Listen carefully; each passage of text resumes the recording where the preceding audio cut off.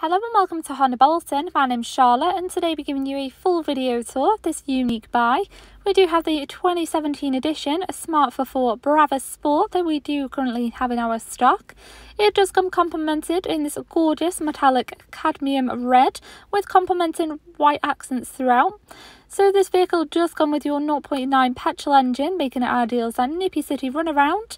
And for any further information, please give our team a call on 01204 827 906. So starting at the front, you do have your very stylish LED daytime running headlights to ensure full illumination is provided.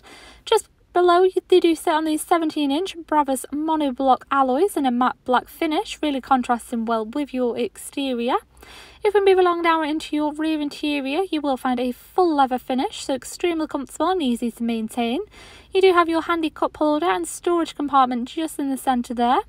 And letting in plenty of light exposure, you do have not one but two panoramic sunroofs.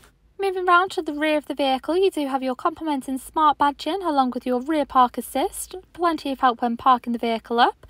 You do have your fitted parcel shelf along with its space in your boot area, ideal for all your day-to-day -day items, including several shopping bags. If we move along now into your front interior features, you will find your three-spoke leather sports steering wheel with your multifunctional options. This does sit just alongside your central touch display screen. You do of course have all your central climate controls just below there. And as you can see, this is an automatic transmission, very much smoother drive. Your two front seats are again full leather, so very comfortable and easy to maintain, with of course your full glass sunroof just above. So that does conclude our full 360 walk around of this vehicle. So if we now take a seat in the front, I will show you all the top key technology features.